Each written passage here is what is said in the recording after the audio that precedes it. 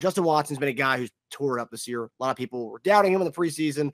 He came out and has been probably the biggest play receiver we've had uh, this year so far. If you look at the big moments as far as our offense, I think you can point to Justin Watson uh, being that that guy this year. But obviously, Watson dislocated his elbow last week against the Broncos and expected to miss a few weeks. They don't know how long. They haven't really said. I think I, I think I read somewhere four to five possibly. So it begs the question: What's the wide receiver that's going to step up in his absence? MVS. I've seen some people calling him MVS. That's the new the new nickname I've I've seen. Um, MVS. Um, MVS has not exceeded two catches in a game this year. Uh, Skyy Moore um, has two catches or less in four of the six games. So those two guys really haven't done much this year. Uh, KT, we're starting to get him more acclimated. I mean, last week three catches, nine yards, touchdown. Rashee Rice has looked like the only guy who stepped up in, in this whole equation. All, all the receivers. But what guy are you looking for who could emerge uh, this week without Justin Watson? And are we looking at Justyn Ross season, JG, JD? Is it time to get some Justyn Ross action? All right. So I, I see you try to bait me toward, toward the compensation. going that way. All right, I'll play. I'll play. Okay, Marcus, I'll, I'll play. I'll play with you. All right. So here's the deal. Okay. Rashee Rice has been uh, uh, outstanding. He has in the past few games catching the football. We know he's got a lot of explosiveness. We watch his athletic ability. He has he brings a lot to the table. I think he's a guy that steps up for us. I think he'll be uh, that guy that's filling the role what Justin Watson was doing for us uh, as far as in, in that respect. Uh, Kadarius Toney is another guy I think is probably number two in, in my eyes. Uh, that's going to get a lot more looks. I think he's he's he's starting to get a little bit more better you know, because of his knee, uh, which just going to take him some time. And Andy wanted to get him acclimated, right? And so it was easy throwing a couple of screens, a couple little things here, you know, little hitches and whatnot, for him to kind of, you know, okay, now how you feel about these things, right? Now we're going to give you a little bit more. We're going to put a little bit more on your plate. Justyn Ross, okay, Here's, we'll talk about him. We know Justyn Ross has the ability to go up and go catch the football. Okay. He's a very talented guy. He's a talented guy at Clemson. We just, you know, there's always a question about it, the medical thing. Uh, for whatever reason, he hadn't been getting the, the shots and opportunity. Okay. We don't quite know why. All right. We can speculate all we want. Okay. I speculation. Is it is it where he's not necessarily getting the things? What is it about him not getting out to the plate? We know he can go up there and and, and catch any ball. Like uh, uh Embry said, we waited for a guy to like this to be in this room. Okay. So we waited for a guy to get like this in this room. Let's put this guy out on the field and see what he can do. We seen him go and snatch the ball out of the air, which was just yeah, we knew it. It was which was beautiful. Let's get him uh, some things like in the red zone, but let's not make him a gadget guy, just in the red zone guy. Put him out there in the regular field. Let him go do some things. Okay, that's what I believe. Another guy that I'm looking for. Okay, this is the fourth guy somewhere he needs a fit. And I think he just needs to get more opportunity from Patrick. I think we need to look at him a little bit more. Skyy Moore. Okay. I'll watch Skyy in the games. Skyy has been open several times. They're not getting open. That's just not true. There's some times Patrick's been missing these guys. He just has. Okay. Skyy Moore has been running some good routes. There's some balls that he could catch that sometimes we, we don't need to take the deep ball, which Patrick's holding the ball, look at the deep ball, then Kelce, those things. Give it to Skyy Moore. Let me do some, you know, some things. He can he can catch the football. We know that. All right. We just need to get the ball to him to get him some more confidence as well.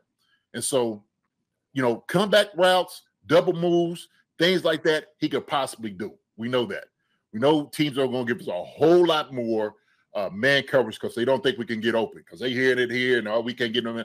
Okay, let's a little bit more pick routes, things that we can do underneath, you know, crossing routes, get guys open.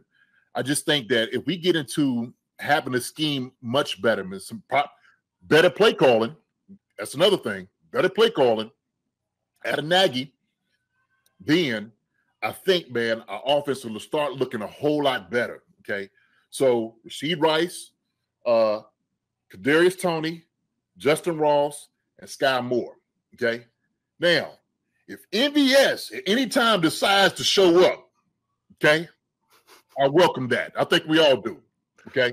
And I'm not a guy, I, am not really want to be down on, on, on MVS like that. But sometimes the reason we brought him here, sometimes we got to give him a shot too. Throw a couple deep balls. You know what? Just, hey, NBA, just go. Hit your nine route. Hit your streak. Just get down the field. We see if we can throw one up to you, see what you're going to do with it. Give him a chance. Give him opportunity. All right. I'm ready for opportunities to start coming for these guys that's in the room a little bit more. Okay. And that right there is on PM 15. Kind of get these guys kind of trusting them a little bit more. And I think it is a little bit of that trust issue, but also too, I think it's you got to start making some plays and some calls from Nagy and Andy to get these guys, uh, you know, acclimated to what we're trying to do, man. Seriously, because this is what it's going to take. It's going to take these guys and ultimately these guys that's been here to try to get them guys ready. Yeah. Um, MVS, the last last four games, three catches, one, one, one, zero. Um, it's been pretty much a ghost out there. I think. Um, yeah, I see someone MG Slim Bro must uh, is a ghost every game, and he is, and, and that's what's come to. I mean, pretty much he's like not there. It's not existent.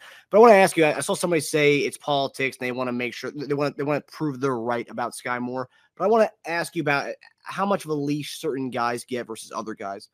Skyy Moore, second round pick. Yeah. Last year, and the MVS getting paid what he's getting paid.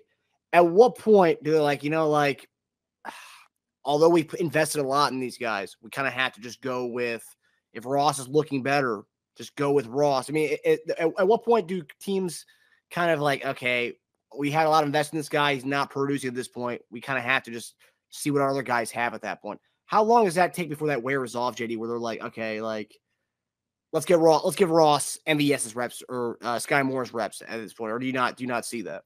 Man, look, look, I, have been I've been playing this game for a long time, okay, and I know how these things work. Obviously, a guy that that you draft early, you give him a longer leash, you really do. But the guy's not producing. You have no reason or beholden to play the guy who's not getting open, who's not doing the things you asked him to do. That's just the reality of it. Matter of fact, if anything, you look like a genius bringing a guy who's undrafted and he's over here playing, right? So that's to me is is is actually talking a little bit, you know, on a higher level when you bring a guy who's undrafted and he's killing it out here. So to me, some of that argument, well, well, you got to keep going on Skyy Moore. Yeah, I, I, I, get that. He got a longer leash. We know he's going to be here for at least four years. Obviously, uh, other than like trading a guy or something like that, he's going to be here. He's your guy. But an undrafted free agent, if he's able to come out here and just absolutely show these guys up, that's even better. That's even better, right? Because what ends up happening, I'm, a, I'm just going to give you an example on contract talks in a sense. You have a guy like Austin Ekeler, okay, who we're playing next week or, this week coming in, that was undrafted free agent. Uh, he wasn't trying to kill the bank, you know, to try to get him signed again.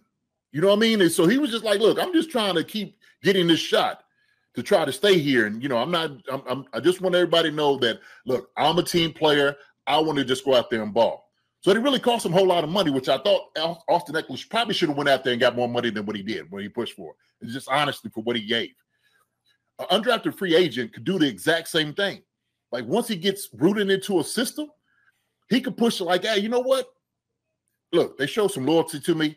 They wanted to sign me for a long-term deal. If we could get Justyn Ross going like that, to me, that it, it speaks volumes into the evaluation process of your scouts, in you know, in Brett Veach, uh, and what they go into when they when they talk about bringing some guys here, some players, because then it what that does it, it gives you credibility now, right? So I just uh, you know, Skyy Moore is a guy that that I think still needs to develop.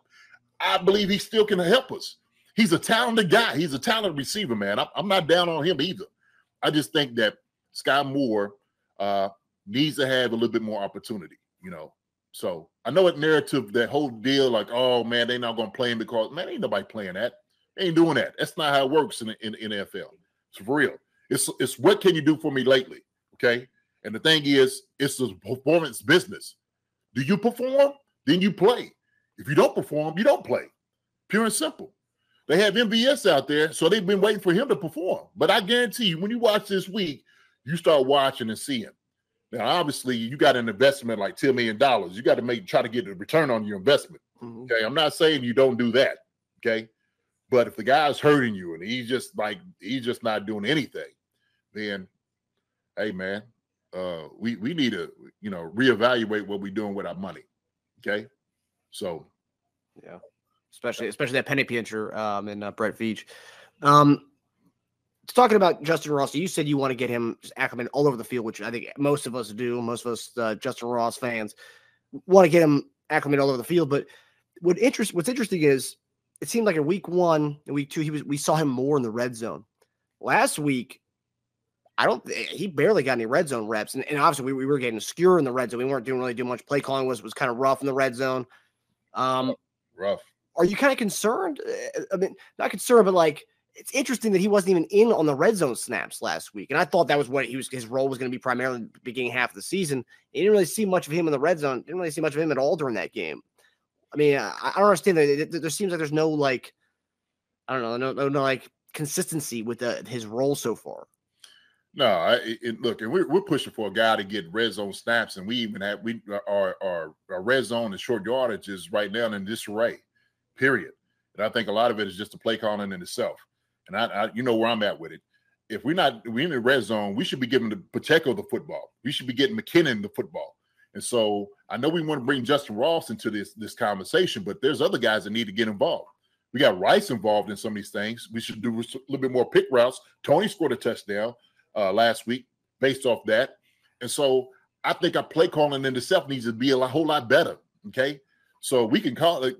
Is he is Justyn Ross going to be the answer to the things that we do? I don't know. Are we throwing the fade balls like we should? Are we gonna call that? That's the question. We're gonna call that. That's hey man. Look, Pacheco needs to get the ball in the red zone. Okay. We need to see the guys come out the football, hit guys in the mouth. That's where I'm at. Okay. Everything else is built off that because if you if your run game is good in the red zone, play action opens up after that, right? Then you get the one on ones that you need to in the back of the end zone, maybe to come back at the at the the first uh, part of the pylon things of that nature. Okay. I could go to the whole scheme of how you should do these things offensively. The question is, are we going to call it?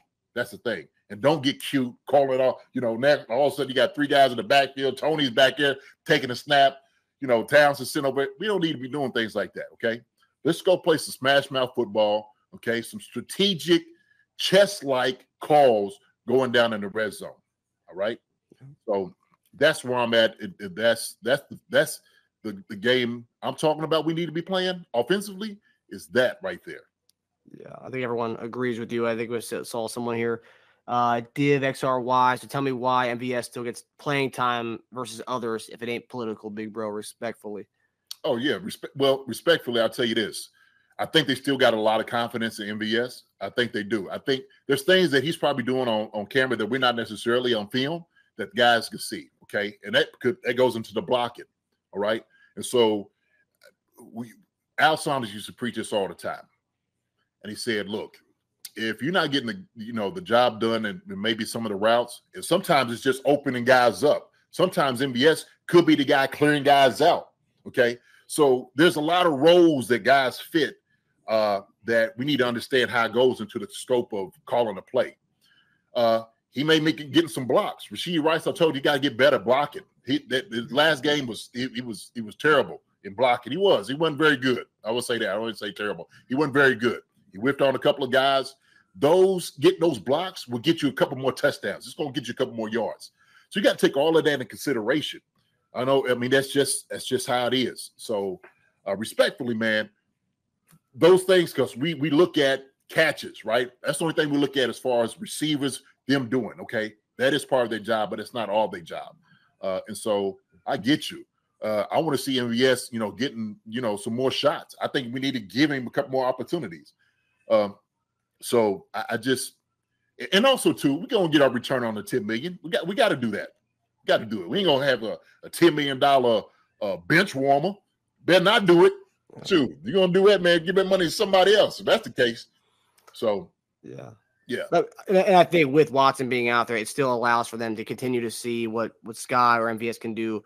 With Watson being out, it gives more reps for Ross to get in there and and and play. It's play more even with those guys even being on the field. Not necessarily taking those guys as reps, but making the best of of more reps with Watson being out. So I, I now hope that happens. That guy's the guy uh, says we need Eddie Kennison. JD, you're going to be at the game, and I'm I'm, I'm I, I can assume Eddie Ek is going to be there. You see if you can bring him back? He came, man. I, hey, look, shoot, he came, man. I, I know that's that's a dog in itself, man. That's my brother right there. I'll probably see him after the game. And look, I, look, when I get out there, I'm gonna do a little bit more homework. I'm gonna, I'm gonna find out. I'm gonna get some answers. I'm gonna get some little bit more answers because I'm gonna be in the building a little bit more. Okay, kind of talk, man. And so I'm, I'm just, you know, the thing is, there's a lot of questions that come out of here, but there's a lot that goes into it. And so I know uh, Andy and and and and the whole offensive side of the ball is not doing their due diligence on not playing a guy just because they say, well, look, we need because he's earning ten million dollars this year, uh, we got to play uh, we we need to win. And we need to find out the combination of guys out there that need to win. Okay. So, you know, it takes time. Yeah, and ho- hopefully uh, us Rossers can be proud, JD. You could go to the first the, the breakout game of uh, Justyn Ross, and after the game, we we, we mentioned it uh, on our show, but after the Thursday night game, when they asked Pat about you know the young receivers, his rapport with Rashee Rice, he brought up Justyn Ross was the first other guy he brought up and said, "Watch, Justyn Ross can have a big game here soon, and Skyy Moore's gonna have a big game soon." But he said Justyn Ross first, and I, you know what? I'm holding them to that. He said he said him first. So I'm thinking we got a Justyn Ross breakout game coming, and I think that that's good. What you could be seeing on Sunday, JD. Okay, look, I'm, and I'm gonna say this because I see a lot of it in the room too. Them talking. Uh, Lit Ron 57 said, "Let's not act like Pat's playing his real potential," and that's true. Okay, that's that could be talking about the elephant in the room. A lot of people don't want to, you know, admit that. Right? Somehow it's just uh, blasphemous to not say, you know, to say that. Okay. Oh, don't say that too loud. But Pat knows, and he's been talking about that he needs to get better. A lot of that is getting the younger guys on the same page about what it is that he's thinking about. So yeah, Pat needs to amp his game up. We know for the best quarterback in the league, we expect a lot more. Pat expects a lot more. Okay. And I don't think that is scandalous to say those things, right? Uh, and Pat's been looking for the long ball. He's been looking for Kelce down the field, but he needs to get the ball out faster to some of these guys that are open. And I guarantee he's watching the film just like I'm watching the film. I'm just like, oh, this guy's open. He can throw this football. There's no reason why he can't see that. And so if he's going through his uh, his progression, one, two, three, I know he immediately he should be able to you know throw some balls, you know, on the dig route, backside, on the comebacks, you know, maybe Skyy Moore coming out of the, you know, the the, the arrow route, um, all those things, right? So, you know, I, I, it's easy to blame, but I think the blame goes around in the offensive room, and they'll get it fixed. They'll get it fixed. So, hi everybody, thanks for watching. Subscribe here to get the latest from the show. Also, be sure to check out the best clips from Chief Concerns. And if you prefer to listen to the show, subscribe and follow us on Apple Podcasts, Spotify, and anywhere else you get your podcasts.